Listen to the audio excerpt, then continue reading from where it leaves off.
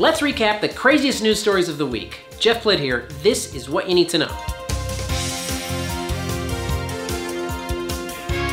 Here's something weird.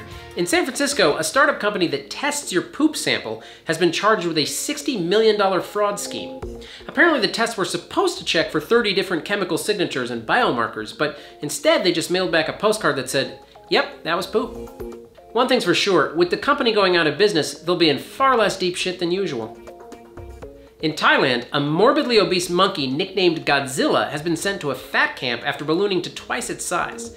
Hold on, how did you guys have a humongous monkey and not name it King Kong? Anyway, my team did some research and found they're currently training another monkey named Mothra to scare Godzilla back to fighting weight. In Toronto, a beaver walked into a subway station requiring officials to close it down. They followed standard procedure, which means they couldn't open the station until the beaver learned to say sorry. Here's something alarming. Several National Guardsmen were held at gunpoint recently by a guy who wanted the COVID vaccines they were carrying.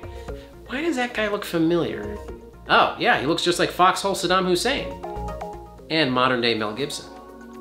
In Hermit Kingdom news, North Korea continues to build up its military and recently fired two missiles into the sea. Oh, I'm getting an update. A seriously pissed off tuna just destroyed their entire navy. Finally, in Spain, Parliament has passed a new law legalizing assisted suicide. Although, it was pretty easy to do before, they just called it the running of the bulls. That's it for now. Please do not like, share, or subscribe. I want my videos to remain a secret, so don't share them with anyone else.